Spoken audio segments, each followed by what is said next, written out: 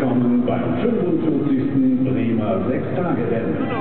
Sechs Tage lang Spitzensport, Spaß und Unterhaltung in AWD